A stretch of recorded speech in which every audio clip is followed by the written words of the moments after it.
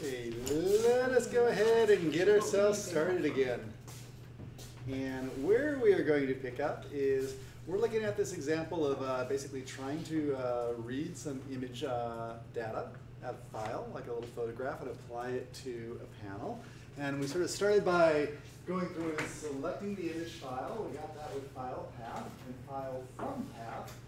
Then there were a couple of nodes. I sort of revised this in the, uh, my map to sort of reflect what it is now. It's image read from file, which lets it know that it's a bitmap image of some type. And then image pixels, which returns a row, a list of rows of, it's where the color values. Okay, and that's where we're going to start. So once we get those color values, we ought to be in pretty good shape.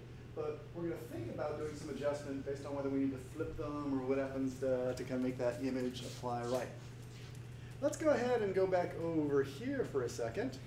You'll see that here we have our list of different color values. They seem to be uh, in I would I guess would be row order, but let's just kind of check this to be certain. Because I have 10 by 10, it's a little bit hard to tell in terms of what's going on because you can sort of see there's 10 and there's going to be 10. It might be column. What I can do, just as a starting point to test that, is if I change that to like 5 or something like that, let's just sort of see what the sampling does in terms of, I think it's going to be groups of uh, the X samples, but we'll see. I just want to see if that changes to be 10 of groups of 5 or 5 groups of 10.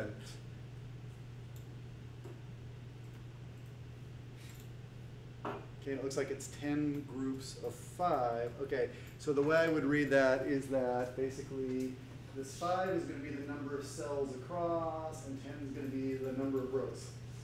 Okay, just to kind of keep track of it. Was that? So, so, so 10 So that's kind of rows in the y direction and 5 chunks across. So 5 across in the x-axis and 10 in the y-axis. So Oh, 10, 10 rows and 5 columns. Right, right, right, right. Yes, How come our points didn't change? What points didn't change? Like, here, these, the five. When I changed it to five, shouldn't oh, it? Well, let's see what's going on. It should have changed. Let's see what's going on there. You're coming on down there. You still got the 5. I think it changed here. It did change there, but mm-hmm. not in the preview. Mm-mm.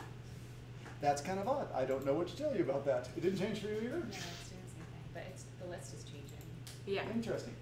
I am not sure why. That's kind of interesting. I gotta think about why did. the the the preview in Dynamo doesn't seem to be changed. The preview in Revit seems to be changing. That's kind of odd. No, you're right there. Same sort of thing here. I gotta see if there's anything. I could have something else lying around inside that script that's generating those points, but I gotta think about what it could be. Still got the quads, all that type stuff. It changed for me. I do not know. Okay, let's go ahead and work with these colors. So here's the deal. We're going to ultimately use this thing called override color in view. And what override color in view does, I'm going to ignore the flipping for right now, is it's going to take all these different adaptive components. You can sort of see the list of adaptive components. And see how that list of adaptive components is a nice flat list. It doesn't really have any hierarchy to it. It is just, just a single layer to it. Okay, so if we go ahead and we want to colorize those elements, okay, what we're going to do is take the list of colors over here, okay, but we won't be able to apply them quite like this. We're going to have to flatten the list so that the flat list applies in both cases. It's sort of a single list. So I'm going to grab those colors. Now what I'm going to do starting is I'm just going to flatten the list by putting it to that last flatten right here. And then we'll apply it. Okay, and what I'm doing right now is I'm just leaving out the chopping, the transposing, and the reversing. We're just going to apply it so it's just exactly the way it was. Okay, so let's take a look and see what happens. I come on over here. It's a little hard to tell what's going on. Okay, because it's uh, not very fine. let me go ahead and I'll just sort of up it a little bit in terms of giving myself a little more data to work with. And I'll warn you, when you up the data, it actually has quite a few more components to work with, so it'll take longer to generate. But let's go, I'm gonna go for twenty, just so I can really see what's going on there.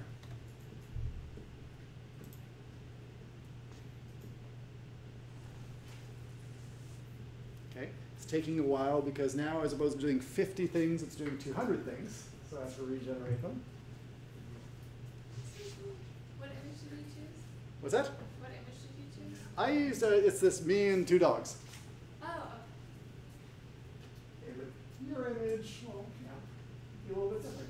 But I just want to sort of get a sense, did it lay on properly or did it flip itself? What happened to it?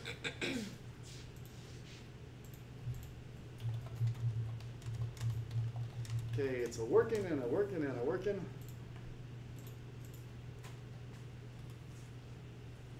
Okay, I'm gonna again just say there's something about my geometry which is so tight that it won't do the last one. Let's see if I can figure out what's going on here. mine flipped across the vertical axis. Unless I'm looking at it upside down. Something's very strange in there in terms of as I look at mine, it looks like I'm sort of interleaving in sort of a funny way. And that has, that could have to do with the chopping and all that type stuff. It's really, you know, as I look at kind of how it's every other one, it looks like sort of, yeah, it's almost like the end of the row is continuing. Yes, it's, clearly it's, it's interweaved in the wrong way. It's like it's oriented some, yeah, it's like weaving around in some sort of funny way. So let's see if we can sort of sort it out a little bit in terms of what's going on.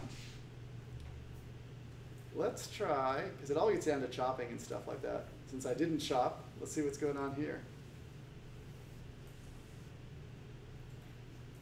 If I take those colors and opposed to uh, just kind of laying them in there, let me try this. Let me instead go through and transpose them and then take the transpose list and see if that makes any difference. And that's a little bit better. At least it looks like I'm sort of in the right territory in terms of what's going on. Okay, so if I look at that photo, it looks like I have a lot of white cells over here. I got some kind of reddish cells here. Got that brown back over there in the corner. If I try to contrast that actually with the photo itself, my guess about what's going on is what I think of as the bottom of the photos over here, that kind of pink area is probably my head with the dog is on my lap, and that kind of light blue area over there I think is where the window is. Something like that. So it looks like it's actually not too bad off, in this case, just sort of transposing it, although you're never quite sure what's going on with the order. So let's just go ahead and try kind of a simple thing to it and see if we can, uh, even though I think it's laid in kind of a funny way there, let's see if we can make it like make more sense. For example, right now we have this list of columns. Well, actually, let's do this. Let me take out this, I'm gonna say the transpose, and then flip the list, then do that flip list over here. What I'm doing is basically just taking that transpose out of the picture. So I'm doing a flip, okay, it looks like it did kind of an okay thing here. What it did is, you see by flipping it, it switched the blue area up to that corner as opposed to this corner. Again, if I take out the resist, or reverse,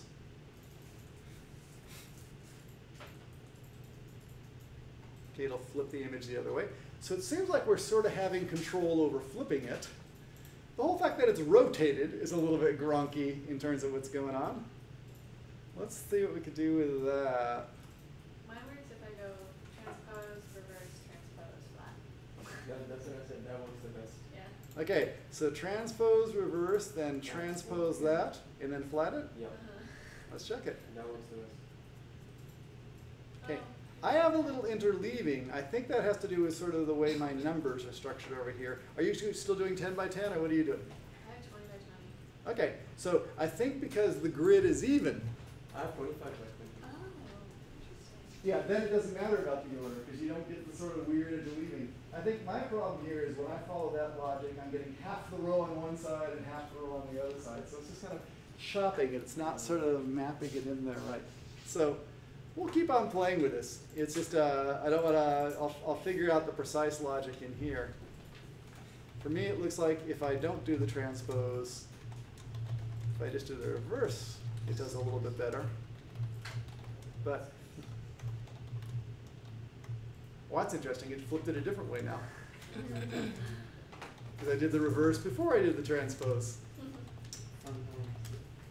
Interesting. So if I do that, and if I just took out the transpose, let's try that.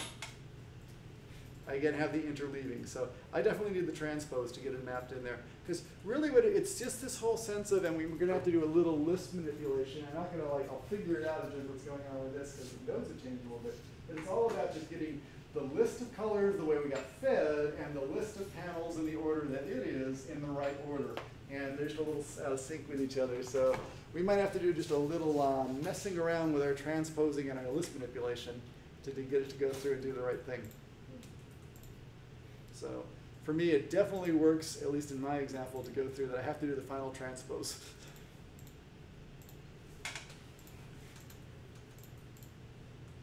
Okay. But in general, that's kind of a fun thing to do. These values you're picking up, they're really kind of interesting. in that these values, you know, right now we're just sort of mapping the color. And that's kind of good. We're just sort of grabbing all these different RGB values. That's kind of good. It turns out values can actually be grabbed. We can not only grab the color, but for example, we could go through and actually grab either the RGB value, the hue, we could do the uh, saturation, we could do the brightness, we can grab any of those different numbers and use those to map too. So if you didn't want sort of a flat surface back here, but you actually want to have something that was like embossed or somehow had a little variation in the surface, let's just talk about how you do that. Let's see what I got over here. If I type RGB over in my search, I have color by ARGB. That's for defining a color. Let's, oh, hang on, what do I want to do here? Let me say hue. Give the hue value for this color. Let me see um, the brightness. Brightness for the color. Let me go to my color functions. So I get the hue, I can get the degree of red. Take care. I can get the alpha. I can do the color range. Let me, for example, get the hue. The hue is kind of an interesting one. That's sort of where you are on that kind of red to green sort of thing, as opposed to the brightness. So if I choose the hue function, where'd it go? What I can do is feed it a list of different colors. Let's take a look. So it's going to go ahead and grab just a whole list of different colors. And with my list of different colors now, I could go ahead and set some parameter back here on the surface. So for example, one of the parameters available out here on the surface is, I choose one of my guys, okay, there's a height parameter. So if I want to go through and start adjusting the heights so they either fit that color value or kind of a scaled version of that, what I can do is say element set parameter value.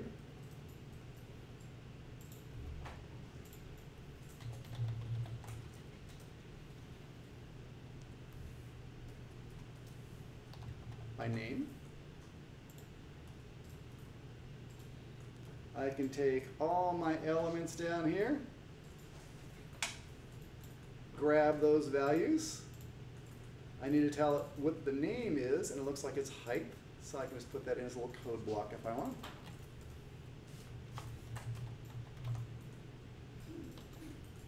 Okay, and now what it's going to do is adjust the height of all those things, all those different panels, based on the color. And this is where it can sort of get interesting because you can come up with all sorts of abstract things. You can sort of grab the colors, or we can change something about the pattern, the size of the aperture. You can make all these almost like comic strip op art sort of effects where you take a photo effect and you translate it into like dots on a surface. Something like that. It's really kind of cool. What kind of error are you? Oh, I'm getting an error too. Let's see what we got here. Oh, I got that. Can't make that. Well, let's see what else I got here.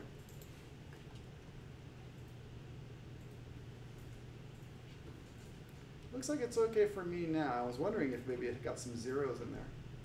You'll see over here, I now have this uh, kind of very funny version of it where certain colors are higher. So what do you got there? Elements set parameter by name. Okay, it's getting a bunch of nulls. So let's see. We got the uh, elements. Okay, that should be fine. We have the parameter values. What do you got there? We got the height. Got that. And then list transform. Oh, what we have to do is go ahead and get one more function there. It's called color.hue. So come on over here because that's what's going to pull the value out. I don't know. Okay, so grab your transposed list and grab that up and put it as the colors. And then take the hues out and put those in as the values. As the values. There you go. And a little recomputation. How'd it work for you? Is you okay? Um, I got the same error, but no, nothing's changing. I don't have the error anymore, but it hasn't changed. Okay, so let's see what's going on. Let's go to our, let's look at our hue values. Let's see what they are. So okay, got a good lot of good values there. Okay, we got height there. You got the parameter, the elements. Oh, I'll tell you what it is. It's that's the parameter name. Okay, and then we're gonna pull the elements up across. Yeah, I got the error too. Okay, eh, that is just having trouble creating something. It's probably has something to do with the height, or it could be that you even have, just say delete, oh, does your image have like a lot of either black or white in it? Mm-mm. There's something where it's just not able to create everything.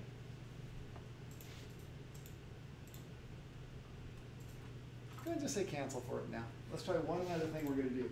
Just sort of, okay, looks like you got some really interesting looking thing there. Floating Yeah, cactus my castle. This is very cool. Okay, now that did okay. Mhm. If, if the values are just a little bit odd or you want to rescale them, let's see, there's another function, let's see if I can find what it is. I think it's called range rescale. Let's see what range, color, oh, remap range. I want to tell you about this function because it's another really good one. We have a list of values right now, they might be everywhere from zero to, it's three hundred something like that. If we want to sort of contain that range a little bit, what you can do is use its map, map, remap the range, grab those values as numbers, then just sort of say what the new min and max is. So if you don't really want to go from zero to 300 or something like that, what you can say is, oh, I just want to go from, let's say, five comma to 20.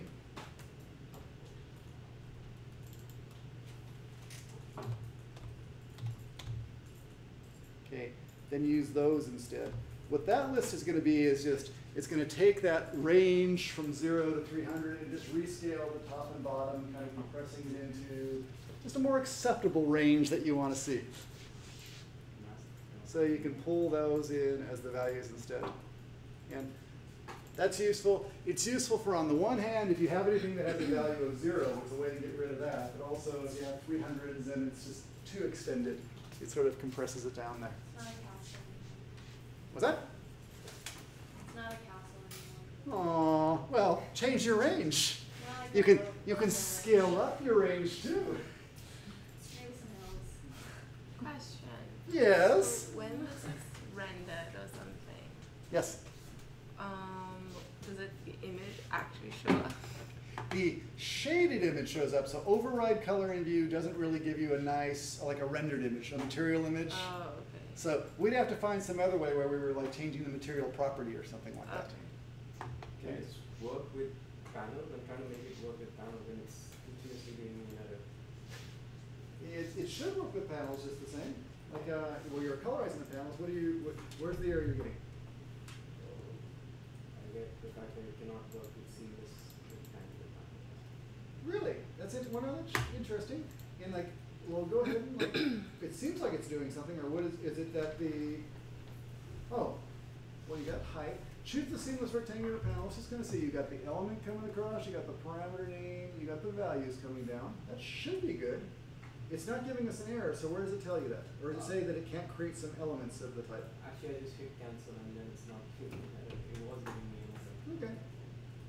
Yeah, what happened for me even is when it's trying to create the panels, there's some points on the corners where the curvature is so great that it's not able to create the seamless rectangular panel. So it's kind of, that's what's failing, it's the creation of the Revit. Actually, even here, can't make type, rectangular. Exactly, that's the exact Okay, no worries. What that's telling you, that has more to do just for Revit and this range of values, it just can't create a panel given the parameters that's been fed. So it's not, your logic's perfect. It's just a matter of, we gotta go back and kind of think about the panel we're using and whether it can really accept those values. So, not to worry. For me, it's recreating them. For, you'll see what happens to me always is, it's always losing the last one. It's that one right on the corner. It just is have, having trouble creating that. But it's not even giving me the different heights at the, like it's just not doing anything. Well, interesting. okay, so you go ahead and you set in the heights, and it's anywhere from line zero to. Okay, let's take a look at your hue values. Oh, you have all those zeros. Now, that's a problem. See, because so many of them are zeros right now, it has trouble with the idea of a height of zero. So maybe it's just barfing and like it's just stopping the operation. Why don't you do the rescale and rescale them so that zero is not in the range? So the lower will be 10 and the upper will be 100 or something like that. So take all your hue values and just go to map, remap, yeah, from 10 to 100. Okay, so put that in as the higher and the lower. So you take the numbers across. Yeah, the dice, exactly. And that's gonna drop the zeros out. The zeros are a problem for Revit as a parameter. Thank you. Nice. Okay, you can have a lot of fun playing with this. Maybe use something like this as part of your uh, parametric structure. Let me go ahead and introduce you to one last thing. We won't get very far with it today, but let me just kind of show you the overall logic because it'll be useful for uh, what you're going to do with your own parametric structure. But we'll go through this in some more detail like on Tuesday together. and that's really this example of creating a parametric stadium. And there's a lot of steps here, but let's just start with sort of the essential ones. It's really going to start with at a high level, we're going to, you know, it was almost like what I drew over here on the board for the bus shelter, where we have the four point, uh, like truss that we're using. We're going to start by defining some arcs for the stadium. I'm going to have a round stadium, so we're going to define some arcs. Okay. We're going to put some um, ribs. We're going to define some ribs, and what we're going to do there is place points on the arcs and then group the points so that we have collections of points that go up across the arc. So if you can think about it this way, we'll have these sort of different arcs. Okay, although I leave them open on one side. Okay. And then for placing my trusses, what we're going to do is put, for example, 10 points on here, coming around.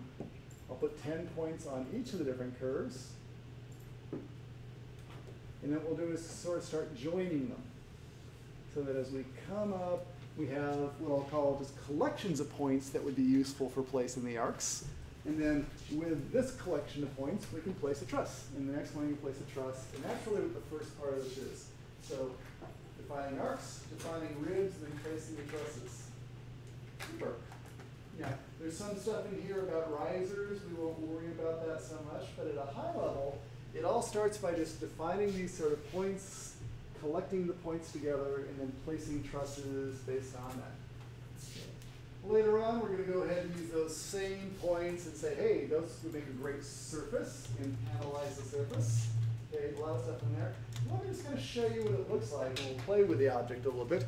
And then you can even sort of take a look at some of the programming to sort of see, it might be a good example for when you get started. So if you can, go ahead and open up 6.3.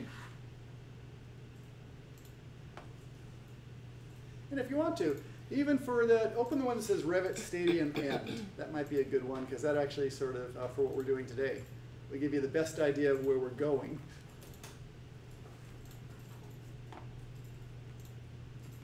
Where is it? Stadium End, example Stadium End.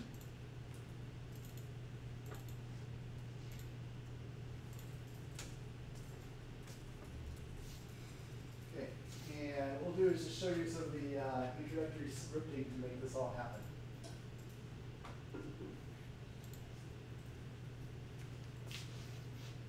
Finish, finish, finish, finish, finish.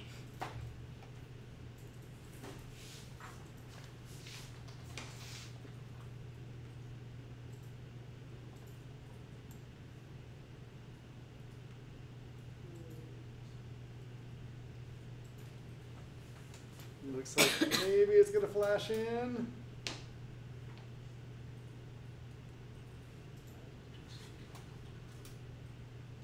Great. So let's show you what this little stadium looks like. This little stadium is really made up as a whole series of different circles. In some ways, it looks like a pumpkin. And that circles are really defined as, you can see on the trusses there, there's really four different placement points. So if I come on in here and, oh, let's do it in red. There's a point right here. There's a point right here. There's actually, I am pretty sure it's the point right here and a point right here. So in order to place those little trusses going all the way around there, what I'm going to define is just a series of different circles with different radiuses and different heights that go around and then place points on there and then use those to go through and place the trusses. So that's really the high level in terms of what's going on. If you want to sort of see this thing in action though, you know, you can see that we've panelized it. Okay, that's what's going on over here. The a- size of the apertures is sort of based on, we'll learn how to do next time. It's actually based on the position of the sun where the panels are relative to the sun. So where it's more sun, the apertures are smaller, the colors are brighter. Where there's less sun, like uh, the colors are darker, the apertures are bigger, stuff like that. So it's a lot of fun you could have with this. But really, just to get started with it, let's go ahead and open up Dynamo and we'll look at some of the very first steps, because that's kind of what you're going to do. And then, uh, I don't know, we'll finish it up next time.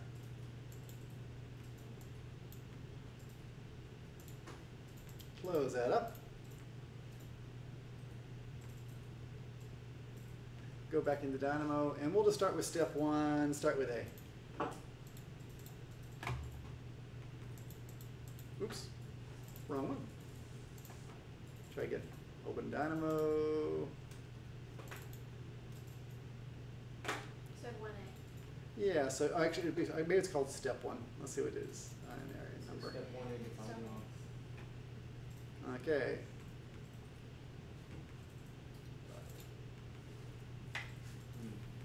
Okay, so let's start with this.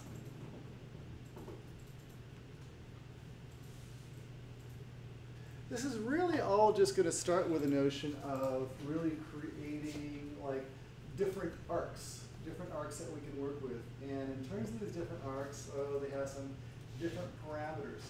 What we got going on here is for these different arcs, okay, we have kind of the, let me think about it, the center point of the arc. Okay, the center point is just going to be at zero, zero. That's the whole center point of our stadium. Super. So I can go ahead and pull that in. What I'm going to do is for all my different arcs, I have four different, or, or for, so this is only done with three. Let me check to make sure. So you got a third point there, third point there. Let me just check to make sure what I did. I have a four point and I have a three point. I have to remember which one I used. That looks like the four point arc. See what it is? Edit the type.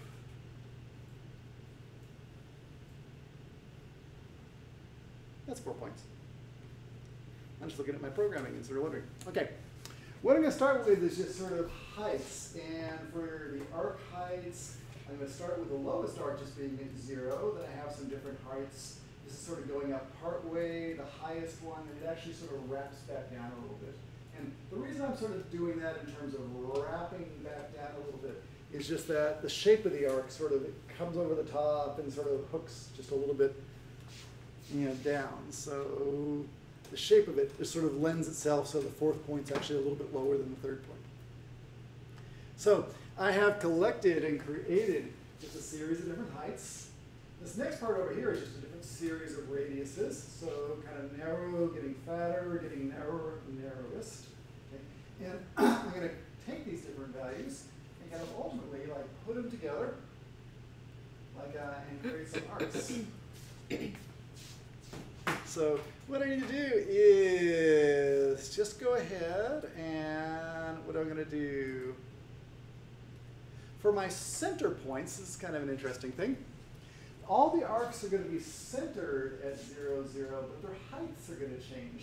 The lowest arc will be at 0. The second arc will be a little higher. Okay, so what I'm going to do is create a series of different points. Okay, by saying they're all at 0, 0, but taking this list, and let's just do that. I'll do a little auto over here. Okay. Making for myself a series of different points at different heights. Okay. Those are going to be the centers. Okay. What I'm going to do is take this list of radiuses, pop it over here. Okay. That's going to be my radiuses for my arcs. And now we're ready to go through and just think about the starting and ending angle. With arcs, you always sort of get the ability to sort of, oh, this particular one, which lets center point radius and angle, gives you the ability to control that. They have one which is just by the radius, to go ahead and make a complete circle. But this will basically say what degree do you want to start at, what degree do you want to end at. So if I go 0 to 360, it'll be a full circle. This is because you have an opening. Exactly. But I'm going to go 0 to, I'm going to leave that as a nice parameter. I'm going to go currently to 180. I'll leave it as a parameter. See what I got in here. Turn on my background preview. I might have to do a little zooming around. Let's kind of see where these all went. Do I see them? I don't see them now. Let's see what's going on. Do you see any arcs on yours? Okay. I wonder if it has to do with because I said manual after that. Let me go manual here and I'll say run it. Oh yeah. Now you got some? Yay. You have you hit run? Yeah. What do I have going on here? Why do I not see them? They're kind of big. That's okay. Starting 0 to 180. That should be fine. Let me try going out again. It's still not. Interesting. She doesn't like me today, but that's okay. As long as it likes you, that's all that matters. Hmm. Let me also come back over here. Do, do, do, do, do, do, do. Background preview. The Revit background preview too. Should be doing it there.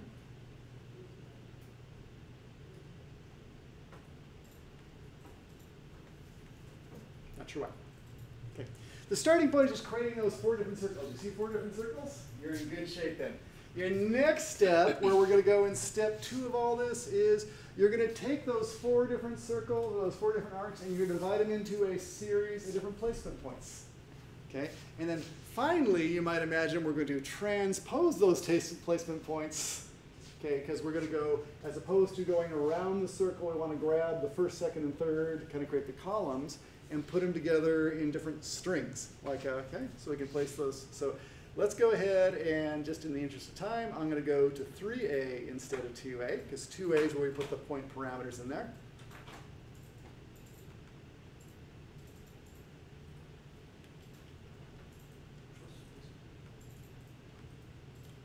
Take a look, yeah, up front here, it's all still the same. We have my beautiful like uh, arcs. Me go and run this. Okay, now I got preview. I don't know why I did before.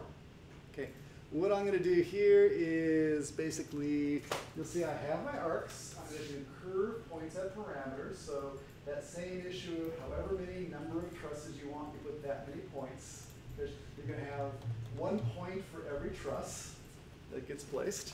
So in my case, I set up a little slider over here for the number of trusses. I will create a whole collection of different placement points. And as beautiful as this collection of placement points is, the only problem is it goes around the circle as opposed to up the column. So I have to transpose it. And that'll say, as opposed to having these collections where all the points are on a single line, we'll group them by the four different points that are one on top of each other. So that's what the transpose does. Okay. And then all I really do is I say, great, let's go ahead. This whole thing of NURBS curve by points is really just graphics. If I want to visualize those kind of collections and sort of see, in addition to that curve, just see a nice curve to help me visualize, that's what the NURBS curve is doing. If you take that out, you'll see it disappears. But with those collection of four points, if you have collections of points, you can take them on down to the adaptive component. You can also say, hey, we need to tell it what kind of adaptive component to use. And we're going to grab the truss component, which is a four-point component, pull them across, and then when you run that, you'll get these trusses. these trusses, which will hopefully now be kind of uh, working their way around the Coliseum or the stadium. So with those trusses in place, see where my example went. Looks like I've closed it by accident, which is uh, we're not going to bother you with.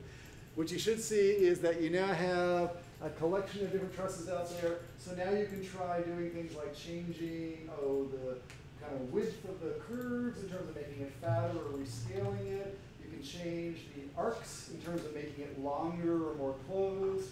You can change the number of trusses that's going to occur along that. And if you're listening carefully and think back to assignment one, you might recognize those as being like the first three things you have to do for assignment one. So go ahead and if you can, let's break now, but go ahead and look at this example like up through three or something like that. It'll give you a lot of good tips about how you might approach uh, the whole assignment one as you come up with your own interesting structures. Okay? So let us adjourn for today and uh, take a break.